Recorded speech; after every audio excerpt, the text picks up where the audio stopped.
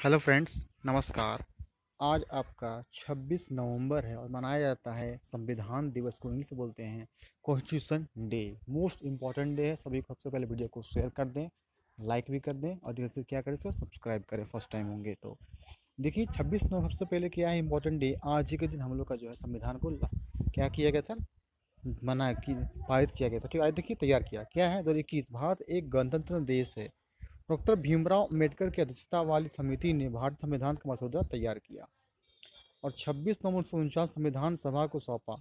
इसके दो वर्ष बाद छब्बीस नवंबर उन्नीस सौ पचास में भारतीय संविधान संविधान को देश भर में लागू किया गया। ठीक है मतलब क्या लिखा हुआ है? छब्बीस उनचास को किया गया? दो वर्ष नहीं, इसका एक वर्ष बने जो यहाँ पे हो जाए छब्बीस पचास को, भारत संविधान को देश भर में लागू किया गया। उस समय भारत के पहले राष्ट्रपति डॉक्टर राजेंद्र प्रसाद संविधान सभा के अध्यक्ष थे। उन्नीस सौ अड़तालीस शुरुआत में डॉक्टर अंबेडकर ने भारतीय संविधान का मसौदा तैयार किया था और उस संविधान सभा में पेश किया। 26 नवंबर उन्नीस सौ उनचास को इस मसौदे को बहुत कम संशोधनों के साथ अपनाया गया था। भारतीय संविधान 26 जनवरी 1950 को लागू हुआ। नेक्स्ट देखिए, ये देखिए आप भीमराव आपका अंबेडकर हैं, जो संविधान के पिता और निर्माता माने जाते हैं। संविधान की प्रस्तावना क्या है? देखिए, संविधान की प्रस्तावना भारत में संप्रभु समाजवादी धर्मनिरपेक्ष लोकतांत्रिक गणराज्य घोषित करती है।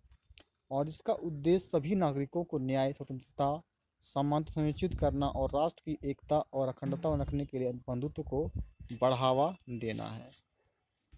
आइए देखेंगे, कुछ जानेंगे, देखिए क्या इसके हैं संविधान के कुछ कुछ देखिए क्या इंपॉर्टेंट हम भारत भारत के लोग भारत को एक रूप में गठित करने का सत्यनिष्ठ संकल्प लेते हैं।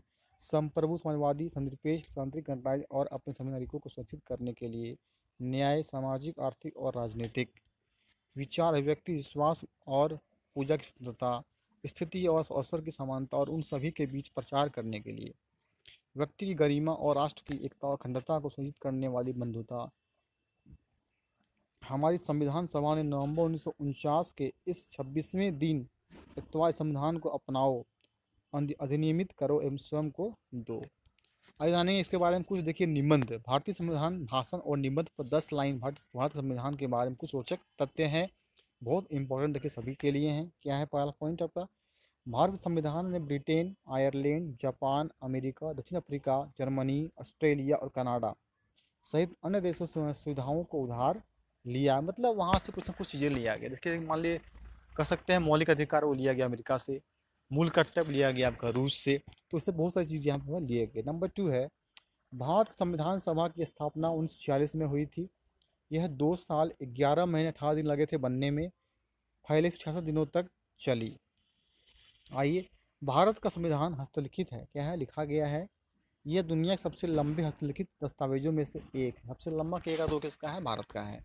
अंग्रेज़ी संस्करण में कुल एक लाख सत्रह हज़ार तीन सौ चालीस शब्द हैं। नंबर फोर आते हैं, प्रारंभ में समाजवादी शब्द भारतीय संविधान की प्रस्तावना का हिस्सा नहीं था।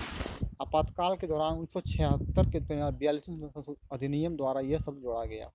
प्रस्तावना में अब तक का एकमात्र संशोधन है, मैंने विचार किया गया।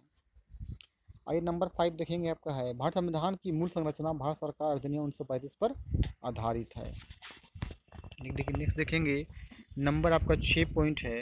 संविधान की मूल अधिक हस्तलिखित प्रतियाँ संसद भवन के पुस्तकालय में हीलियम के भरे मामलों में संरक्षित है। नंबर सेवन पॉइंट, छब्बीस नवंबर उन्नीस सौ उनचास को संविधान सभा की बैठक हुई और ज़ोर से लंबे समय तक जयकारों और मेजों की थपकी के संविधान के पारित करने की बधाई दी गई।